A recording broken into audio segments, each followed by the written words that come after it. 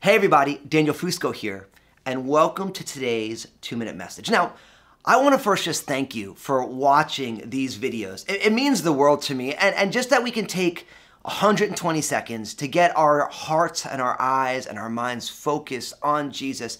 I believe it makes all the difference. So thank you for letting me be a small part of what you're doing. And thank you for sharing the videos and letting people know about it, whether you're watching on Facebook or YouTube or you're picking them up on an app or somewhere else. But here's the thing that I want to encourage you to, to do today. I want you to identify one person who you're going to seek to bless today. And maybe you're going to bless them by just going up and talking to them. Maybe you're going to bless them by praying for them.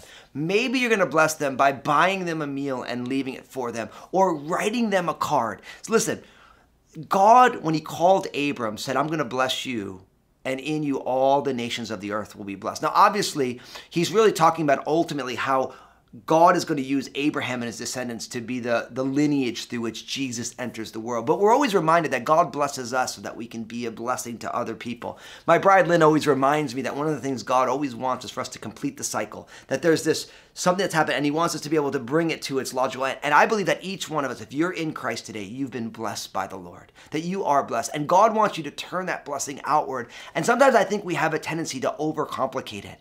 I believe that each one of us, maybe it's a coworker, maybe it's a family member, maybe it's a neighbor, maybe it's someone you meet in a coffee shop or in a grocery store. I want you to simply say every single day, starting today, I'm going to just take a minute or two of my life. I'm going to try and bless somebody.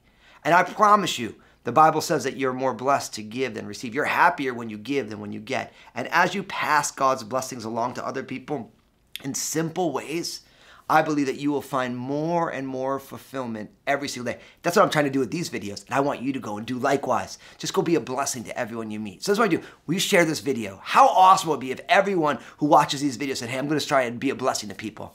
And in the comment section, I want you to tag somebody who is always seeking to be a blessing. Doesn't have to be in crazy, huge ways, but people who are, are blessing. And I want you to thank, say, listen, I see that you are turning God's blessings in your life into blessings for other people and tell them how grateful you are for what God is doing in their lives. And God bless you today.